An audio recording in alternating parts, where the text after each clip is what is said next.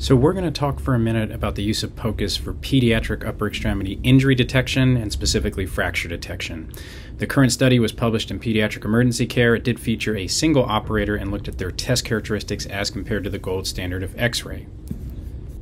So, in this study, they enrolled 106 pediatric patients with upper extremity injuries, 47 of which were distal forearm injuries, 21 of which were elbow injuries, 24 were hand, and then a few others as well.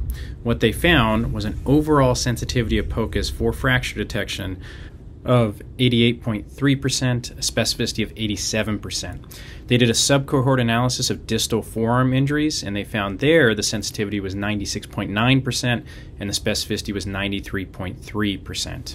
And of course, this comes on some excellent pediatric distal forearm literature that was published in 2023. Um, the two trials to look at are here. And interestingly enough, one of these was a functional trial, and then the other one was comparing the accuracy of X ray to POCUS. And interestingly enough, the accuracy was actually higher in the POCUS arm than in the X ray arm, which starts to raise the question are we using a good reference standard? In other words, we're comparing everything always to X ray, but if X ray is actually the inferior test, what does that mean for test characteristics like those shown in this study? Okay, and just briefly, how do we perform this exam? So, the approach that's been described is a long axis approach with six different views over the pediatric distal forearm.